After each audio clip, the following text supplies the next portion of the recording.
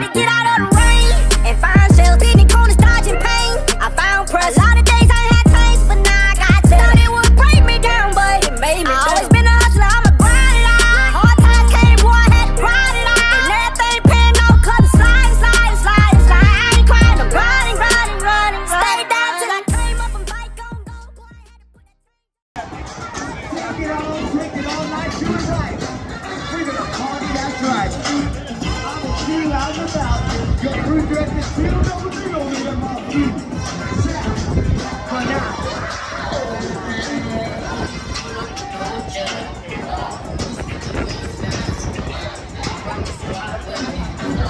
at this, man.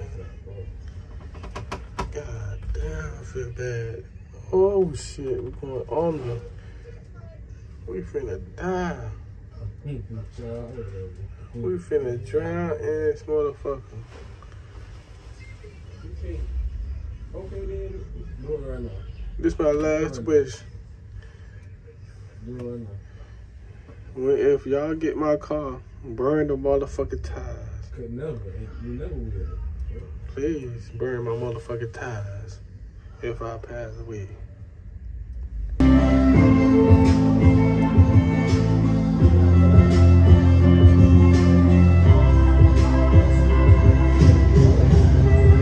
the best day ever.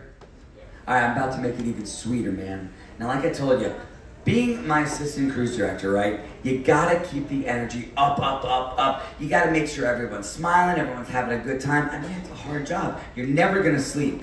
So, to make sure that you never go to sleep all cruise long, I am giving you this whole bag of candy from the Cherry on Top Candy Shop.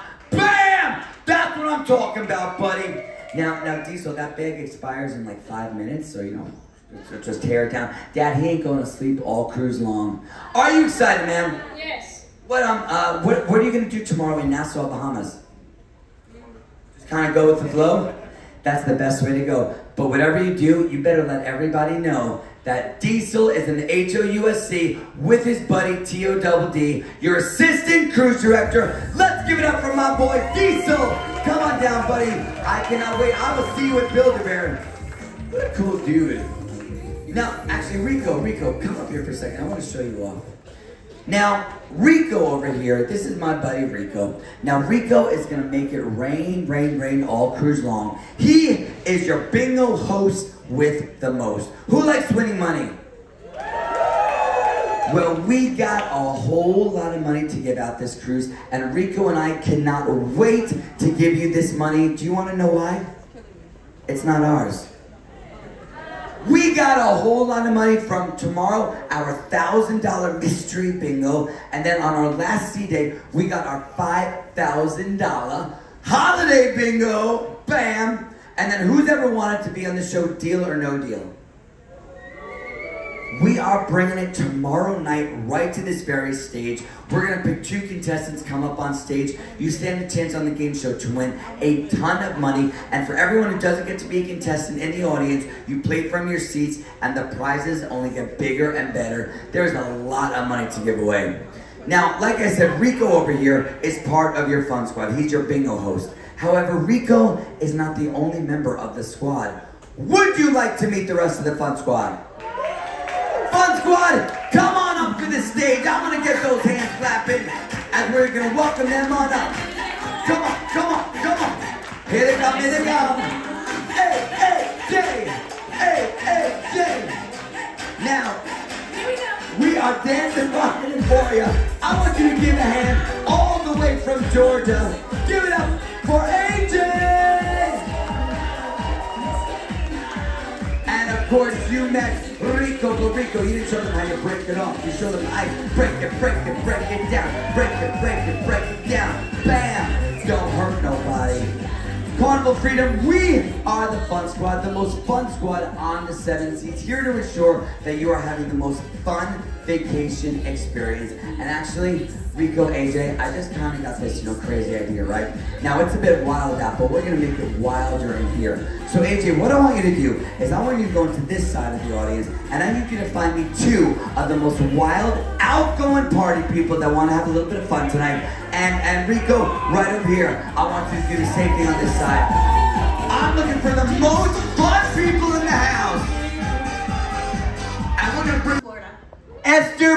Florida. And my friend, what's your name? Where are you from? Raymond, also from Florida. Raymond, also from Florida. May the force be with you both. Now, next up, my friends over here, what's your name? Where are you from? Demetrius from Arkansas. Hey, Demetrius from Arkansas. And what about you, my friend? Richard from Arkansas. Richard from Arkansas. I love it. So we got Team Florida, Team Arkansas. Now, my friends, I'm going to put you to the test. I said I'm going to be looking for the most wild, outgoing party people that there is. So, I want you to hold on to that. But what I want you to do is, I want to see just how well you can hype up this room. So when I say go, I need you to get this room cheering, jumping, bumping, whatever you got to do. Now, whichever side cheers the loudest, I'm going to give you a prize. Now, you're going to thank me for this if you win it, okay? Do you think you're up for the challenge? I know you are. You think you're up for the challenge? All right, we're going to see if it's Team Nebraska versus Team Florida. Team Arkansas, excuse me, versus Team Florida. Are you ready, my teams? On your mark, get set, go! Let's hype up this room!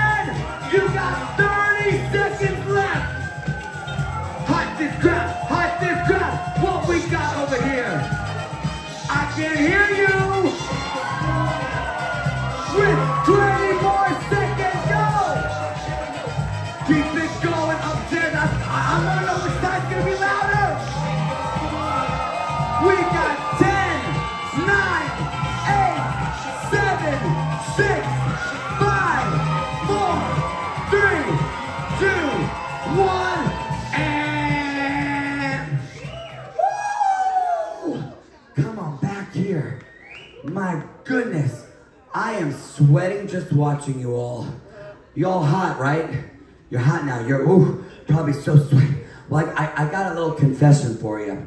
I, I was never actually really gonna pick a winning side. I just wanted to see how well we could hype up this room, you know, so I know what we're working with. But you know what? Because I love your commitment, I loved your style, I loved your artistic flair. We're gonna be making all four of you our VIPs! And what does it mean to be one of our VIPs? I'ma tell ya. Now, do you see these eight amazingly beautiful people sitting right here in the first row? This is your playlist cast. Now, they are the ones that are gonna be singing and dancing for you all cruise long. Now, on Princess K night, we're gonna have our first production show, 80s Pop to the Max. You're gonna come to this lounge, this theater, and you're gonna wear those passes. However, our VIPs are not just gonna sit in any seat. No, no, no, no. You will be sitting in your VIP thrones right over here. Now I know you must be thirsty from all that jumping, shaking, money making. Well, I gotta keep my VIPs well hydrated, of course, right? So we're gonna give you a little bit of sparkly bubbly right there for you. I keep you hydrated. I know, keep you nice and hydrated. I told you you're gonna thank me. But wait, it gets better. It gets better, if you could believe it. You like winning money, right? You like bingo, right? Well, Rico was so kind enough to cook you a hot, fresh bingo rito for tomorrow's thousand dollar mystery bingo. Are you excited now? Let's give it up for our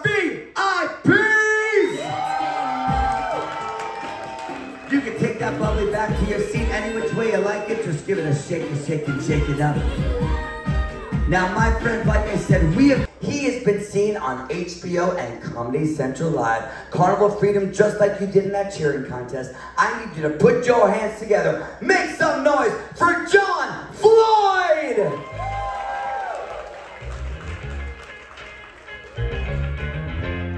Thank y'all so much. What a crowd. What a crowd. Woo! How y'all doing? All 12 of you. All right. Uh, I'm glad to be here. Did y'all see my picture outside? Anywhere on the ship today on the big joke? Are you leaving already? Seriously? Am I not that funny? I mean, I haven't even told a joke yet. Oh, well, whatever. Ah, my picture's all over the ship. I'm better looking in person. Did y'all? People tell me I look like George Clooney in that picture. What do y'all think? No, wait, not George Clooney, George Costanza from Seinfeld. That's who it is.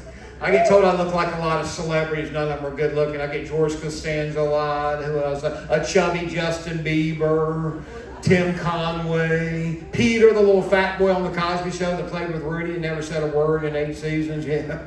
Some of you don't remember what I'm talking about, but you'll get home next week. You'll be flipping through the channels. You'll get a TV land and go, oh my God, there he is. It's a comedian we saw on the ship last week. If George Costanza was here tonight, you know what he'd be saying? The sea was angry that day, my friends. Okay, apparently you'll never watch Seinfeld. All right. People tell me I look like a preacher all the time, too. Do y'all think I look like a preacher? Do you really? I get that a lot. I don't know why. I go to church, but I'm sitting in the pew being quiet. I'm not up there at the pulpit doing a sermon or anything. People assume that because I'm Southern and kind of conservative, I'm a Baptist. I'm not. I'm a Methodist. The only difference between a Baptist and a Methodist is Methodists will wait to each other at the liquor store. Had a guy come up to me after a show not too long ago. He told me that I look like what might would happen if Spanky from the Little Rascals swallowed Michael J. Fox. okay, you'll chuckle at that one. All right. I flew here today. Anybody else fly down to Florida today? Or uh, maybe if you're from South Florida, yeah.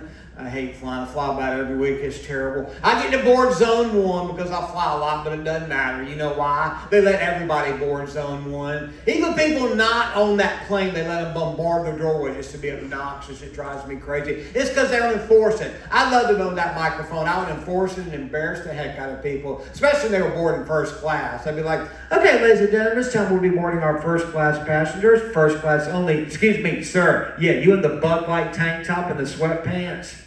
Yeah, I think you're good to sit down for a few more minutes. Thank you. Don't enforce it. You know what I think they need to enforce it? Cattle prods. Just zap people and then make an example of them and everybody else in the room. They're like, okay, ladies and gentlemen, if you direct your attention up here to the gate area, you see a man lying on the floor unconscious. His phone number had not been called. Don't be next. Oh, now they talking about the early boarding. When they say this time we'll be boarding people traveling with small children. What's the key word? Small children. Does that mean you and your teenagers can hop on the plane at your leisure? Again, I'd love to be the one to enforce that. Say, oh, you think your 17 year old son is a small kid? Pick him up. Pick him right now. We'll carry him down the jetway. Let's go. Come on. Now, I don't want to see his boarding pass. He's going to sit in your lap for the entire flight. You know that, don't you? I hate all the announcements they make on planes. They tell you stuff you don't need to know. Like, in the event of a water landing, your seat cushion will act as a flotation device. Just put your arms through the straps and hug it tightly to your chest. Now, in the event of a water landing, don't it's going to be floating or a bunch of dead bodies, all right? I mean, I don't mean that. Mean, but think about it. Have you ever one time turned on the news and seen a plane that just fell from 35,000 feet out of the sky into the ocean, but 20 yards away from the debris was a dude floating on his seat going, woo! My arms fit right through the straps. Glad I was listening to the instructions. Ah, oh, know, I'm killing it up here running in front of 20 people in a room that holds 700 people. All right. Oh, it's almost Christmas. Have you got your shopping done? Yeah. Ladies are clapping. No man better clap. It's on is today, December 14th. Not in the history of since baby Jesus was born has any man had his Christmas shopping done on December 14th. You know, Christmas Eve you'll be saying to your wife, honey, did we get something from my mom this year? I don't remember. Uh, y'all watch those Hallmark Christmas movies? Yeah. Oh, did y'all ever see that Hallmark Christmas movie? I can't remember the name of it, but it was about that girl. She had a really big corporate job in the big city, and she, she was engaged to a really snobby guy that only cared about his work and money. And then she had to go home to help her family business get run in Vermont. And then while she was there, she fell in love with the little the handyman that drove the old pickup truck and had the five day beard for the entire movie. And then at the end, she decided to dump her boyfriend from the big city and move back and stay in Vermont and open a bakery. Did y'all ever see that one? Yeah, that was a good one, wasn't it? Think it had that girl from there was a child star on that TV show in the 90s. I can't remember what it was, but oh, speaking of Christmas shows, I don't usually do this. I and if I do, it's obviously in the month of December. It's the only impression I do. Charlie in the Box from Rudolph. Y'all remember that? At the end, when they're on the aisle of misfit toys and they're all upset because they think no kid's going to want them on Christmas Eve. Then they hear Santa's sleigh coming in the distance, and Charlie in the Box goes, That sounds like Santa. It is, it is. And Rudolph is guiding his sleigh.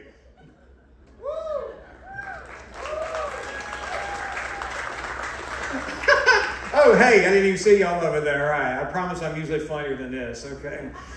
I got the show's only a little bit over. We got another comedian coming up, and I have a show at 10:30 in the back lounge on deck five. Go to walk, get on deck five, walk all the way to the back. If you fall in the ocean, you've gone too far. So swim backwards, and you know that's where my show is. It's an adult show, so you, you kids can go to the casino while your parents come to my adult show. I promise it'll be funnier than this has been so far. At least I hope that y'all think it will be.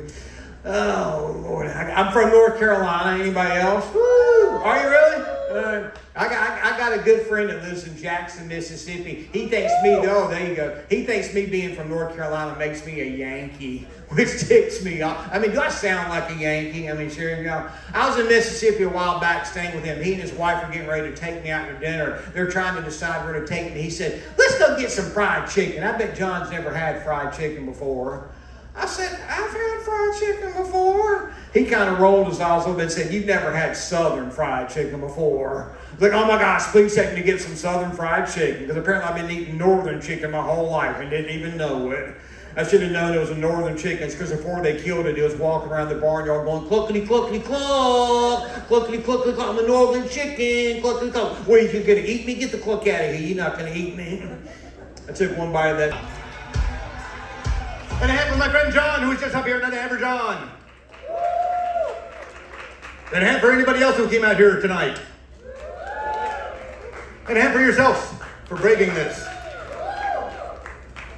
Moving. Can you feel it moving? Speak English?